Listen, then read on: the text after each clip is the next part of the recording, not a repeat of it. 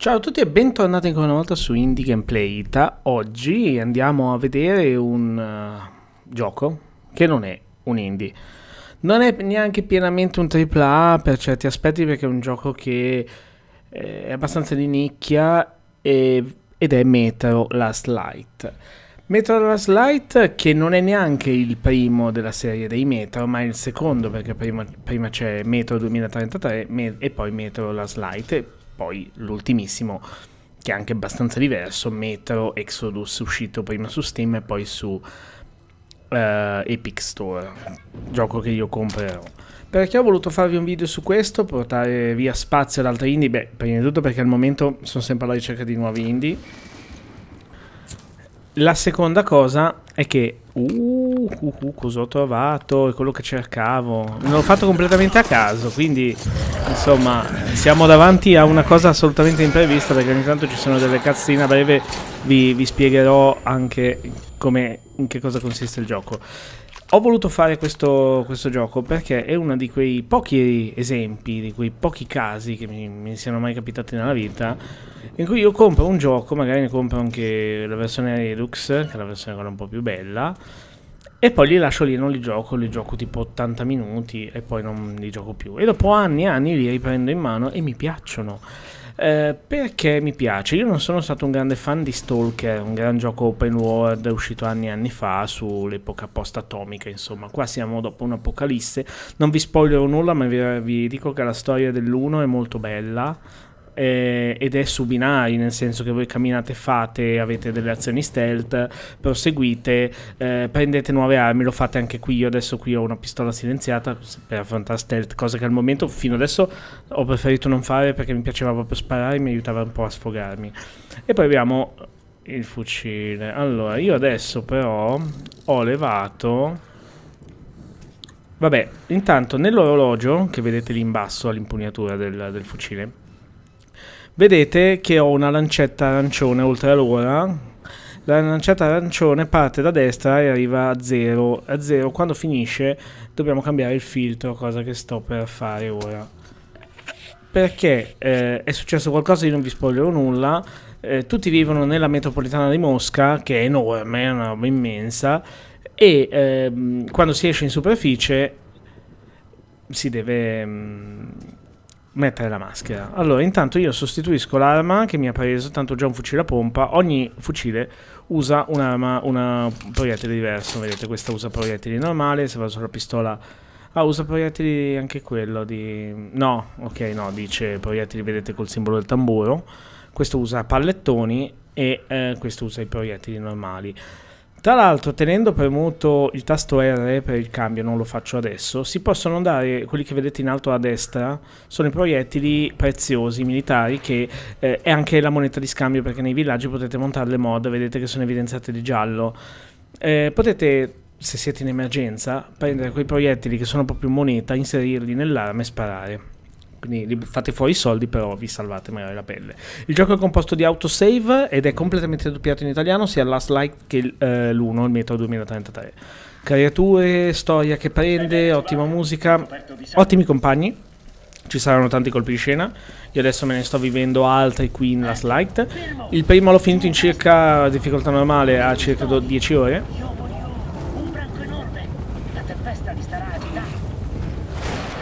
Ok, adesso io non... è un delitto raccontarvi una qualsiasi cosa, vi dico solo che il gioco può piacervi se siete fan magari di cose post-apocalittiche, spara tutto.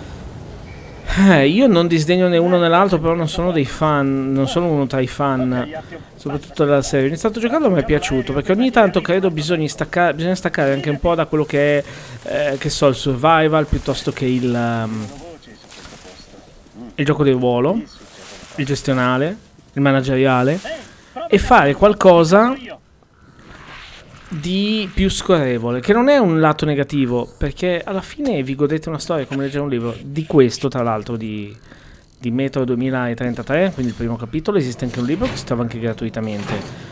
Mentre eh, di, e poi anche di, di, questo gioco. C'è anche Metro 2034 e Metro 2035 che sono i libri dell'autore russo.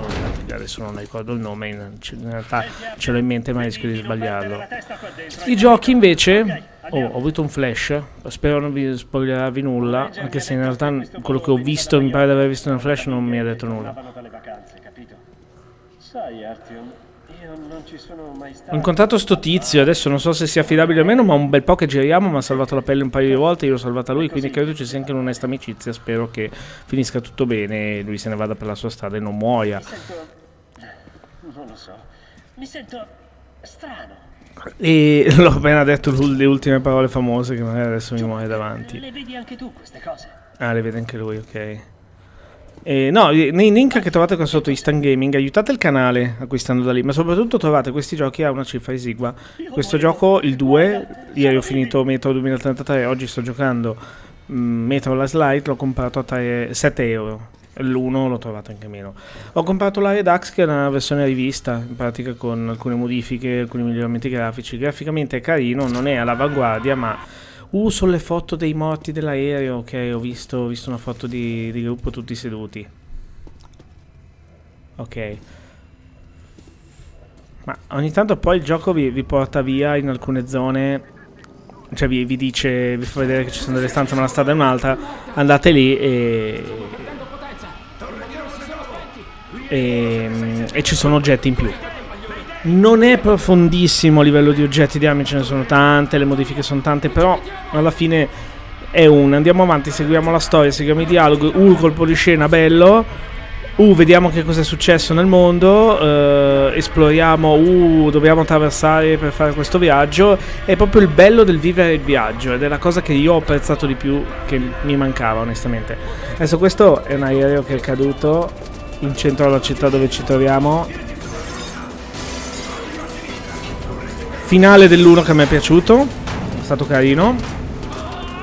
Quindi se vuoi confortarvi a me è piaciuto, 10 ore. Magari non lasciando neanche tanto, non, io odio le morte frustranti ma non, non mi è capitato. Qualche volta, ma bastava solo ascoltare. Ogni tanto troviamo col tasto questi, questi cosi qui, premendo tab possiamo andare a leggere. Ehm, poi non, non voglio non voglio spoilerarvi nulla. E adesso nel 2 in questo gioco sono 31 capitoli abbastanza brevi mentre nell'1 sono 7 abbastanza lunghi. Una decina di ore comunque. Ah lui è ancora illuso da, da quello che sta succedendo Ah, c'ha degli effetti strani questo aereo. Poi si può colpire a mano e tenendo premuto tab si può scegliere un'arma da lancio che possono essere bombe, possono mettere claymore, bombe incendiarie, varie varie. Ah, tra l'altro ho dimenticato di dirvi che i proiettili che usate, quelli per la valuta inseriti nella pistola, sono incendiari, quindi fanno molto male. Si svegliato, sarei probabilmente soffocato come gli altri. Come, come questo qui. Eh, il gioco mi sta dicendo di sostituire un filtro. I filtri, bene o male, io ho giocato la modalità sopravvivenza, non ce ne sono tantissime, però li avete sempre. A parte nel finale dell'1 che ho avuto dei, dei, problemi, ho dovuto proprio cercarli, poi se cercate li trovate. E poi iniziate anche a farvi una cultura su quelli che sono i mostri, quali sono i più temibili, come ucciderli. E proprio ce ne sono alcuni che hanno proprio dei metodi precisi o non vanno mai guardati o vanno guardati in determinate circostanze. È molto soft, una sfida via molto... Oh, molto, molto scorrevole. Quindi il gioco mi è piaciuto perché è stato proprio come vivere un'avventura lineare. Perché... Poi non vedo l'ora perché eh, questo l'ho iniziato dopo l'1 appunto e c'è stato un minimo miglioramento grafico. Non vedo l'ora di iniziare l'Exodus, nuovo perché pare meraviglioso a livello grafico e soprattutto si potrà eh, giocare più in open world, mentre un'area, ad esempio in questo gioco, la più grande è 200 metri per 100, la più grande in Exodus ho visto che potrebbe essere 2 km per 2 km e soprattutto... Ah, ma è finito, cambia... ok. Eh, seguimi, ti seguo, ma... Sì. Dove andiamo? E soprattutto il viaggio durerà una sorta di anno, da quello che ho visto, e, du- e si passeranno un po' tutte le stagioni. Quindi... Sì, seguimi, ma dove? Sì, ah, dobbiamo battere il tizio. No, ogni tanto... Quando vi dicono seguimi, ma poi non, non mi seguono. Vabbè, diamo un'occhiata intorno intanto. No, infatti, ok, è andato avanti, si è fatto i fatti suoi. Sì, do- dovete stargli proprio vicino. Quindi non vedo l'ora neanche di giocare il terzo, volevo iniziare direttamente dal terzo, ma ho visto proprio in internet che lo sconsigliavano, allora ho iniziato a giocarmi l'1 il 2. Divorato per meno di una settimana, perché alla fine 10 ore. Cambia, cambia, cambia. Che poi... Adesso non so se può capitare anche qua, ma nell'1 non capita, forse qua sicuramente nell'Exodus si inceppano le armi, se non si tengono bene. È proprio figo. Queste sono le creature che proprio incontrerete già fin, sin dall'inizio. E potete anche mirare. Eh no, si è inceppata anche qui, sì. Sì, sì, sì. Sì, infatti mi piacerebbe l'idea quella di, di trovare appena possibile una, una mitra di quelli militari, non questi un po' rudimentali. Ok. Vedete, stiamo... Sì, dai. Andiamo, andiamo, andiamo, andiamo, andiamo.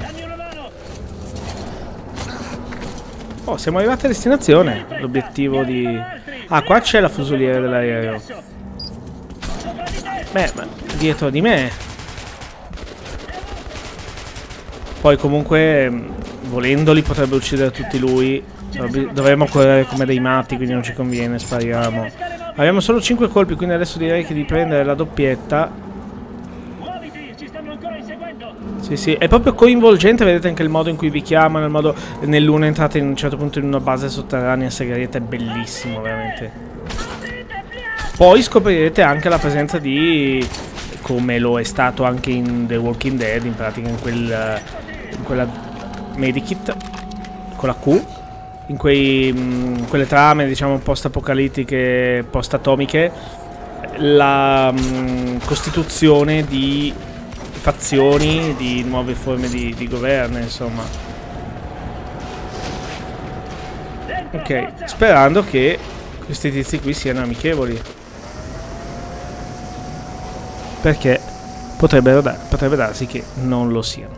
Comunque ragazzi, io vi lascio qua nel dubbio, ora che ci siamo salvati, non so se loro siano affidabili o meno. Vi saluto, ditemi che cosa ne pensate di questo gioco, ora che finisce il capitolo e ne inizia uno successivo con la descrizio- descrizione e il nostro personaggio che parla. Vi ringrazio e fatemi sapere appunto come dicevo cosa ne pensate di questo diciamo AAA che ho riscoperto e ho gustato.